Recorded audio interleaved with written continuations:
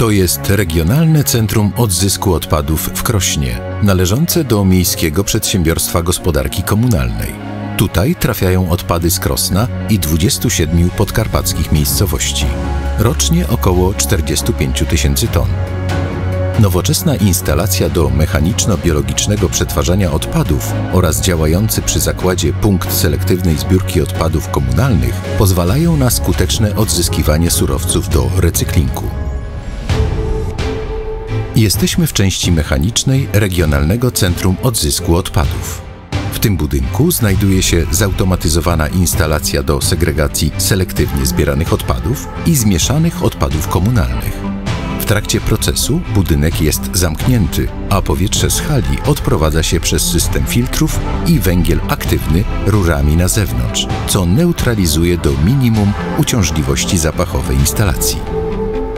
Znajdująca się obok instalacja fotowoltaiczna, licząca 1460 paneli i produkująca 650 kW prądu, pozwala na pokrycie znacznej części energii potrzebnej do prowadzenia procesu technologicznego instalacji. Znajdujemy się w sterowni, gdzie monitorowany jest cały proces mechanicznego przetwarzania odpadów. W zasobni worki z odpadami ładowane są do rozrywarki worków, skąd przenośnikiem trafiają do kabiny wstępnej, gdzie pracownicy wybierają te elementy, które są zbyt duże, żeby trafiły do sita bębnowego.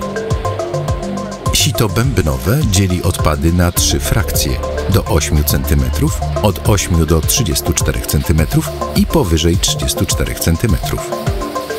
Frakcje przechodzą przez system mechanicznych separatorów, które wyłapują przedmioty do recyklingu. Zastąpiło to pracę człowieka, która polegała na ręcznym wybieraniu ze strumienia odpadów cennych surowców, a tych, najwięcej do odzyskania, jest z frakcji od 8 do 34 cm. Początkowo odpady z tej frakcji przechodzą przez separator metali żelaznych, potem przez separator optyczny tworzyw sztucznych, który rozpoznaje i wydmuchuje plastik na podajnik prowadzący do separatora balistycznego. Tutaj następuje podział tworzywa na płaskie i toczące się. Stąd osobnymi liniami odpady transportowane są do kolejnych separatorów optycznych, które jeszcze dokładniej segregują pod względem składu i koloru tworzywo sztuczne. Można w ten sposób podzielić butelki typu PET na bezbarwne, zielone i niebieskie. To, co nie jest tworzywem, trafia na separator papieru i separator aluminium.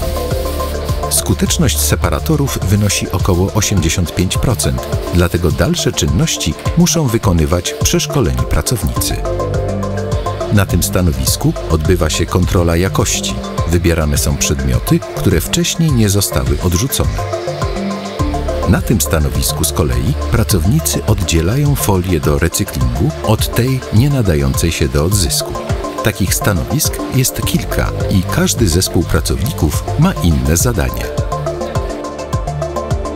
Podzielone odpady umieszcza się w boksach, w których czekają na odbiór przez firmy zajmujące się recyklingiem oraz firmy produkujące z odpadów paliwo alternatywne przeznaczone dla cementowni. Wyjątkiem są pozostałości z frakcji do 8 cm, które transportuje się do instalacji biologicznej. Jesteśmy w tej części zakładu, w której mieści się instalacja biologiczna. Jej centrum stanowią 22 bioreaktory. Do jednego może zostać załadowane od 250 do 300 ton odpadów.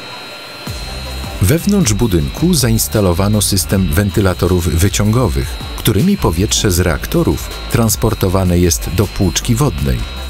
Następnie powietrze przechodzi przez biofiltr i całkowicie oczyszczone wyprowadzane jest na zewnątrz budynku. W każdym reaktorze znajduje się pięć kanałów, które odprowadzają odcieki do specjalnego zbiornika. Każdy z reaktorów może pracować niezależnie od siebie, ponieważ posiada własny wentylator nawiewowy. Wentylatorami tłoczy się powietrze do reaktorów, w których dodatkowo utrzymuje się odpowiednią wilgotność i temperaturę. Procesy technologiczne mają na celu wytworzyć dwa produkty końcowe: ustabilizowany odpad i kompost. Surowcem, z którego powstaje ustabilizowany odpad, jest to, co trafia z instalacji mechanicznej z frakcji do 8 cm. Ciągu 10 tygodni spędzonych w reaktorze powstaje bezpieczny, pozbawiony uciążliwości zapachowej odpad wywożony na składowisko.